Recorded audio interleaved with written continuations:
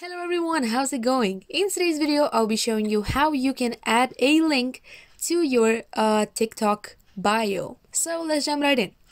So disclaimer, this works only if you have 1000 followers on TikTok, just so I don't waste your time today.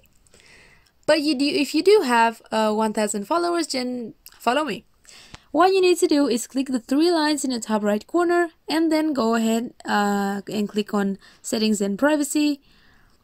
And first of all, what you have to do is go ahead and click on manage account. And here you have to switch to your business account.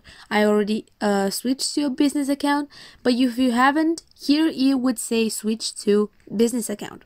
So click on that um, and then go back to your account and go ahead and click on edit profile. As you can see now it's um, this one that is actually the one that you can um, the box that you can actually complete with your link. And here you will write your link. If this video helped you out don't forget to like it share it and subscribe to the channel for more useful tips and tricks. Till next time have a great day